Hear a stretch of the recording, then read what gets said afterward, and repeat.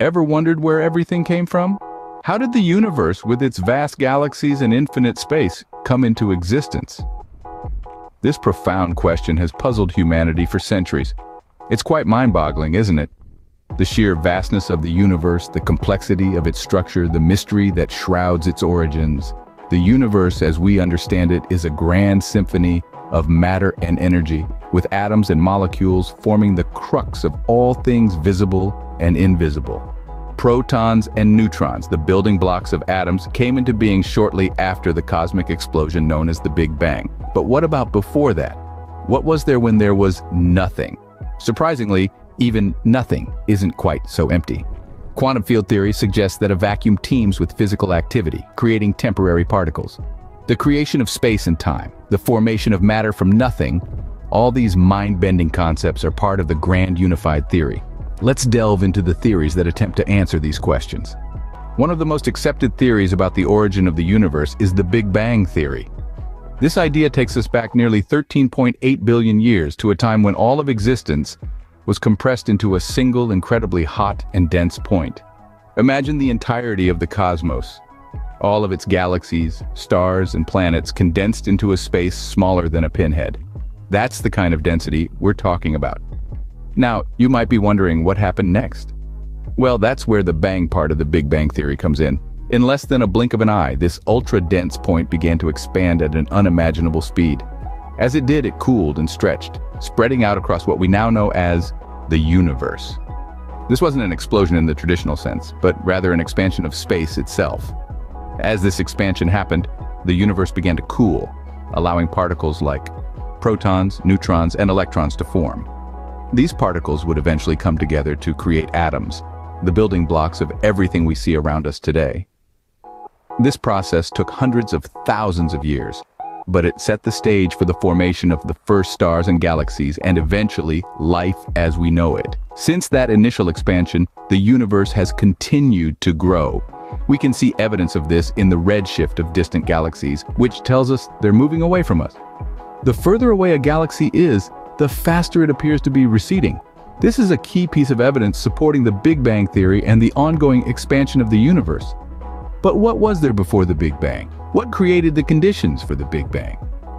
These are questions that have puzzled scientists for decades. The answers lie in the realms of quantum mechanics and theoretical physics, leading us down a rabbit hole of nothingness, quantum fluctuations in the very fabric of space and time. But that's a story for the next scene. Scientists propose that the answer might lie in the realm of quantum mechanics, specifically quantum field theory. Now you might be thinking quantum what? Don't worry, it's not as complex as it sounds. Quantum field theory is a cornerstone of modern physics that marries the principles of quantum mechanics and special relativity. It's a theory that describes how particles like protons, neutrons, and electrons interact with each other. But what's truly fascinating about quantum field theory is how it redefines our understanding of nothingness. Now, let's imagine for a moment that we could create a perfect vacuum devoid of all matter. According to our everyday understanding, this vacuum would be nothing, right? But quantum field theory tells us otherwise. It suggests that even in this perfect vacuum, there's a lot going on. The vacuum is teeming with what physicists call quantum fluctuations. These fluctuations are caused by the inherent uncertainty in the properties of particles, a fundamental aspect of quantum mechanics. They cause particles and antiparticles to spontaneously pop into existence and annihilate each other, all in a fraction of a second. These are what we call virtual particles. They might sound like something out of a science fiction novel, but they're a very real part of our universe. So, this nothing that we were talking about, it's not truly nothing. Even in the emptiness of space, there's a buzz of activity, an unending dance of creation and annihilation. This is the quantum vacuum, a sea of temporary particles bristling with energy. This brings us to an interesting question. If nothing is not truly nothing, if even a vacuum is filled with these temporary particles, could the universe have emerged from this quantum activity? Could these quantum fluctuations be the seeds from which galaxies, stars, and ultimately we ourselves sprang? So could the universe have sprung from this quantum activity? Quantum processes might have given birth to the universe as we know it. Fascinating, isn't it? The idea that our universe, with its galaxies, stars, and planets, could have emerged from quantum processes. Quantum processes, you ask? Allow me to explain. Quantum physics, the study of the universe's smallest particles, suggests that even in a vacuum, an area perceived as completely empty, there is constant physical activity.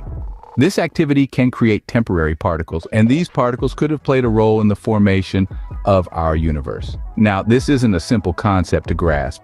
Even for the brightest minds among us, it's a challenge, but the Grand Unified Theory, or GUT for short, attempts to explain this phenomenon. This theory suggests that at extremely high temperatures, such as those just after the Big Bang, all fundamental forces, that is electromagnetic, weak nuclear, and strong nuclear forces, were unified into one force. As the universe cooled, these forces separated, leading to the formation of complex matter. But here's the kicker. What if our universe, this expansive, incomprehensible entity, formed from nothing? Quantum field theory allows for this possibility. The nothing we're talking about here isn't the lack of anything. Instead, it's a state bristling with physical activity, a state that can give birth to particles and hence to matter. From this perspective, our universe could be seen as an intricate dance of creation and annihilation, where particles and antiparticles are constantly being created and destroyed. This dance could have set the stage for the formation of stable, complex matter, and ultimately, the universe as we know it. But what if the universe we know is just a part of a never-ending cycle? Just imagine. Each end could be a new beginning, each destruction a stepping stone for creation. Now isn't that a thought to ponder? Imagine if our universe was born from an old, empty universe. This is the concept of conformal cyclic cosmology. In a quest to understand the mysteries of our universe, we come across a fascinating theory known as conformal cyclic cosmology. This theory is like a cosmic Russian doll, suggesting that our universe is but one in a sequence of universes. Each universe is born from the fiery death of its predecessor, like a phoenix rising from the ashes. Conformal cyclic cosmology proposes that the universe goes through an infinite series of eons, each beginning with a big bang and ending with an unbounded expansion. It's a cycle of destruction and rebirth on a cosmic scale. The theory's name, conformal, refers to the way it views time and space.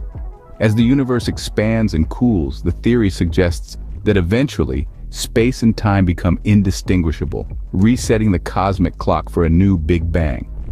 What's more, this theory proposes that traces of previous universes may still exist in our own. These are known as Hawking points, named after the renowned physicist Stephen Hawking. They are the remnants of black holes from previous universes, providing potential evidence for this cyclic cosmology. So, where does the nothing come in? Well, the theory suggests that as each universe expands and cools, it eventually becomes an empty, timeless, and spaceless entity devoid of matter. This is the nothing from which a new universe is born. It's an intriguing concept, challenging the traditional view of the universe's origins. Remember, these theories are continually being refined and tested as we broaden our cosmic horizons. Each new discovery brings us a step closer to understanding the universe's vast mysteries. Perhaps one day we'll have a clear answer to the question, what was there before the Big Bang? So maybe the nothing that our universe was born from was just the remnants of an old universe. The origin and formation of the universe remain among the greatest mysteries in science. Today we've journeyed through some of the most fascinating theories that attempt to explain this cosmic enigma. We've explored the Big Bang Theory, the birthplace of protons and neutrons, the fundamental building blocks of our universe. We've delved into the quantum field theory, where even the emptiness of a vacuum teems with physical activity capable of birthing temporary particles. We've ventured into the concept of space and time being born from quantum processes, and theories like the Grand Unified Theory that strive to explain these phenomena. We've also touched upon the idea of a cyclical universe, born anew from the ashes of its predecessor, as suggested by the conformal cyclic cosmology. While we may not have definitive answers, the quest for understanding our cosmic origins continues to inspire and drive scientific discovery.